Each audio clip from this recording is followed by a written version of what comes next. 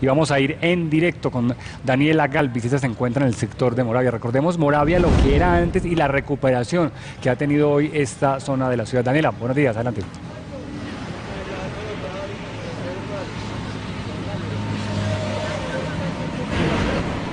Juan María Victoria, muy buenos días. Como les habíamos anticipado, en este momento nos desplazamos hacia el barrio Moravia de Medellín, un barrio que ha sido definido por la alcaldía de Medellín como un ícono que quieren mostrar durante el Foro Urbano Mundial, un foro que se va a realizar en la ciudad en el mes de abril y en el que la ciudad quiere mostrar a Moravia como un ejemplo de transformación social urbana. Pero ¿quién es mejor que sus habitantes para contarnos si realmente la transformación de este barrio les ha mejorado la calidad de vida? Para conocer este tema saludamos a María Gladys Tilano. Ella lleva 20 26 años viviendo en Moravia. Doña María Gladys, usted en estos 26 años ha visto muchas cosas, esa transformación social, ¿cree que ha mejorado verdad su calidad? Bastante. Ha cambiado mucho porque la verdad es que hace muchos días para acá han venido haciendo cosas muy productivas y se ha visto mucho el cambio. Todo se ve muy bonito y, y la verdad es que sí se ve un cambio.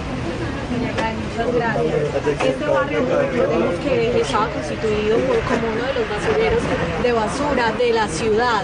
En ese marco pues tenía eh, bastante invasión de personas que trabajaban con el tema de reciclaje y que hacían parte pues de eh, la empresa Recuperar, una cooperativa que se encargó de darles a ellos una dignidad de trabajo, de permitirles trabajar en el marco legal y poder pues avanzar en el desarrollo de sus viviendas y de este barrio. Para conocer un poco más de esa transformación vamos a saludar a Julio Castro, él es el gerente territorial de Moravia. Gerente, muy buenos días. Cuéntenos por qué la alcaldía cree que Moravia es un barrio para mostrarle al mundo.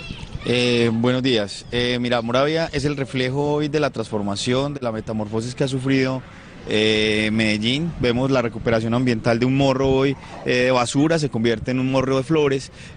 todo el tema de esto que vemos aquí tan bonito que tiene que ver con el tema de la bermejala, los equipamientos todo el tema, eh, no únicamente de lo, que se ve pues el, concreto, sino todo lo que tiene que ver con eh, la transformación social urbanística eh, de, sus, familias. esto se ve reflejado en lo que estás viendo, todo este tema de, siembra de plantas ornamentales, todo el tema de flores y como un basurero eh, se convierte hoy en un tapete verde de flores. Exactamente, como usted lo decía, en este barrio han sido plantados más de 50 mil plantas y 327 árboles. Ese trabajo ambiental y social continúa. ¿Cómo en este momento ustedes siguen trabajando en Moravia?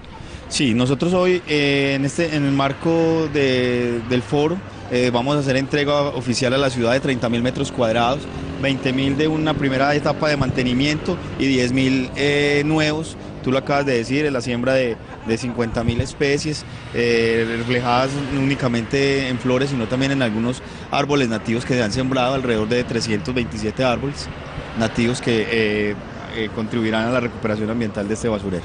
Bueno, para conocer mejor sobre lo que ha sido la transformación de Moravia, en las horas de la mañana vamos a estar realizando un recorrido guiado por la alcaldía de Medellín y además en el que vamos a conversar con los habitantes para tenerles nuevas historias en nuestra emisión de las 7 y 30 de la noche sobre lo que ha sido la transformación urbana y social del barrio Moravia que se va a mostrar en el Foro Urbano Mundial. Por ahora regreso con ustedes, usted, con ustedes a estudio. Un feliz día.